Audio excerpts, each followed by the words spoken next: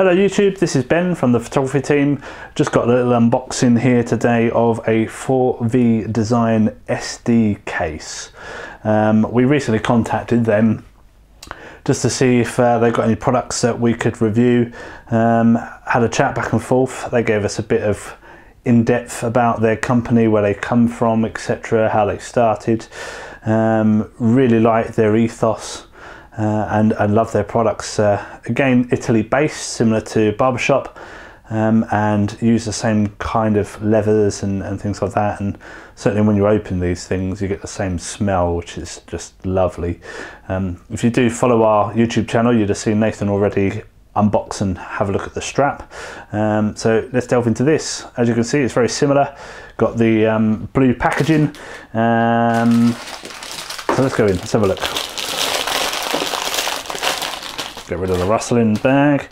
Okay, really nice box. Um, they've again got all of their 4V design logo across it. This is really sturdy. You can you can kind of hear it and, and really feel this is sturdy packaging.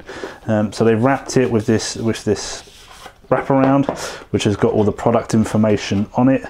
Um, so the SD card case, it has six slots, again Tuscany leather, um, and this is uh, the black one. Um,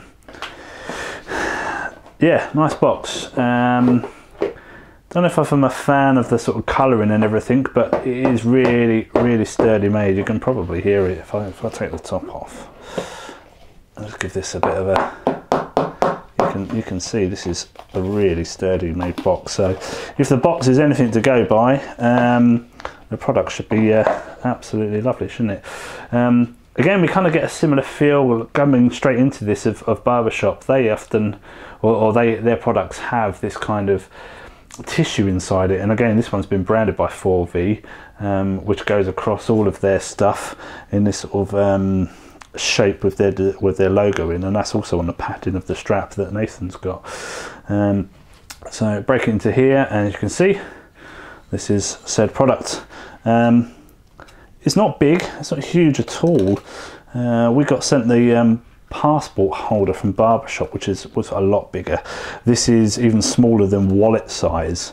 Um, big logo on the front here. Um, not much else to go with sort of brandings or any kind of details. Um, got the little leaflet here, bit of information about it. Strap to keep it closed. Open up. Again, more of this 4V branding um, and again following this sort of shape with their logo inside uh, and as you can see the sort of six slots for the SD cards. Now at the moment I've got my SD cards looking a little bit like this floating around in the bag. Um, I'd even gone to light, uh, uh, lengths of putting good and bad on so I got an idea of have I used it have I not used it?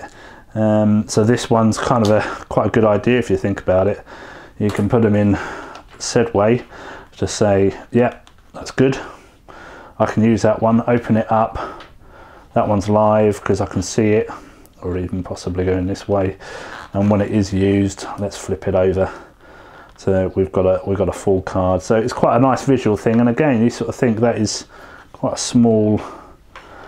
You could run with that, run a wedding, run a shoot with that in your pocket. Quickly need to change, pop it open, Right, that one's full, that one would be empty. Let's take it out and use it. And you have got space behind here for putting business cards, something like that. So it's, it is a nice little wallet really, and I think it's a lot nicer size. Um, but I also think they could have done a bit more with it. To me, it just seems this is a lot to carry six SD cards. I mean, you've got space here, and obviously that goes straight in to the space where you'd put any business cards as well. So um, yet to use it in any type of anger and, and the design may then prove itself that this is actually quite good.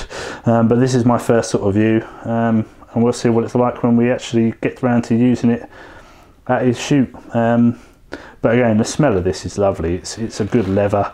You know, there is this is going to last a long time. and It's going to take some abuse and you know what kind of shoots do you do where there's you're not giving your gear a bit of abuse so hopefully this will last quite a while so we're, we're looking forward to trying a lot of their stuff and putting it through its paces and obviously uh, follow, subscribe to our channel, and to see a few more come through.